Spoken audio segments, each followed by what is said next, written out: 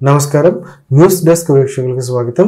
ఈరోజు వాతావరణ అప్డేట్స్ వచ్చేసరికి రాబోయే రెండు రోజుల్లో నైరుతి రుతుపవనాలు దక్షిణ బంగాళాఖాతం అండమాన్ నికోబార్ దీవుల్లో ప్రవేశించేందుకు పరిస్థితులు అనుకూలంగా ఉన్నట్లు అమరావతి వాతావరణ కేంద్రం వెల్లడించింది. దక్షిణ తమిళనాడు పరిసర ప్రాంతాల్లో కొనసాగుతున్న ఉపరితల ఆవర్తనం సముద్ర మట్టానికి సగటున ఒకటి పాయింట్ ఐదు కిలోమీటర్ల ఎత్తు వరకు విస్తరించి ఉన్నట్లు తెలిపింది. ఉత్తర దక్షిణ ద్రోణి ఇప్పుడు విదర్భ నుండి దక్షిణ తమిళనాడు మీదుగా ఉన్న ఉపరితల ఆవర్తనం తెలంగాణ రాయలసీమ మీదుగా సముద్ర మట్టానికి పొ- సున్నా పాయింట్ తొమ్మిది కిలోమీటర్ల ఎత్తున విస్తరించి ఉన్నట్లు పేర్కొంది.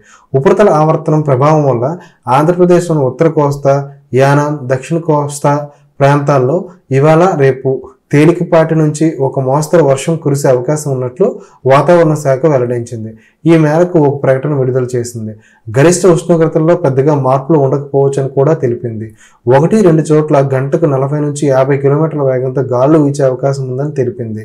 బుధవారం కొన్ని ప్రాంతాల్లో తేలికపాటి నుంచి మోస్తరు వర్షాలు కురిసే అవకాశం ఉన్నట్లు కూడా తెలిపింది.